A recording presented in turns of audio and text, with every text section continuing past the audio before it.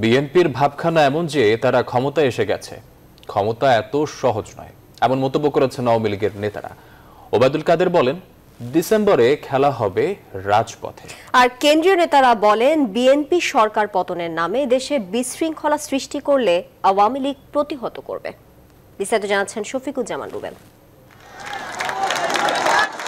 দুই তিনটা সমাবেশ করেই বিএনপি ভাবছে তারা ক্ষমতায় এসে গেছে। ক্ষমতা এত সহজ নয়। খিলগাঁও থানা আওয়ামী লীগের সম্মেলনে বিএনপিকে উদ্দেশ্য করে এই মন্তব্য করেন ওবায়দুল কাদের। বলেন, ডিসেম্বরে খেলা হবে রাজপথে। আর চিন্তা করে লাভ নেই।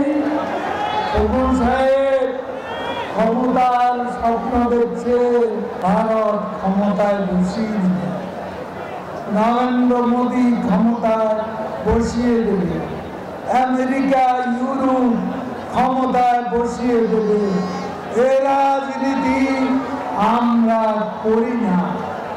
এদেশের জনগণ ভোট দিলে আমরা আছি না হলে না। সভায় দলের কেন্দ্রীয় নেতারা বলেন বিএনপির জনসভায় আওয়ামী লীগের বাধা দেওয়ার অভিযোগ মিথ্যে। সভার নামে বিশৃঙ্খলা করা হলে প্রতিহত করা হবে বলেও হুঁশিয়ারি দেন তারা। প্রস্তুত থাকতে হবে। যখন নেত্রী ডাক দিবেন অবায়দুল কাদের ডাক দিবেন, তখন যেন আপনারা রাজপথে বেরিয়ে পড়ে প্রতিরোধ করে তুলতে পারেন। আমরা যদি চাইতাম, অথবা আমরা আওয়ামী লীগের নেতা কর্মীরা যদি ইচ্ছা করতাম, তবে বাংলাদেশের কোথাও অন্তত বিএনপি জামাত শান্তিতে কোন জনসভা করতে পারত না।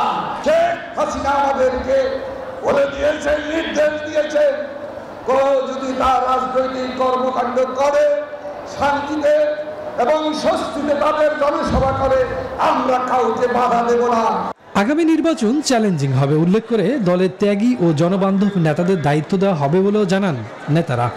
এই ঢাকা মহানগর দক্ষিণের চব্বিশটি থানা এবং পঁচাত্তরটি ওয়ার্ড। আপনারা নেতৃত্ব নির্বাচন করে পূর্ণাঙ্গ কমিটি অনুমোদন দিয়ে আপনারা সম্মেলনের প্রস্তুতি গ্রহণ করবেন। Shafiquzzaman Rubel news twenty Dhaka.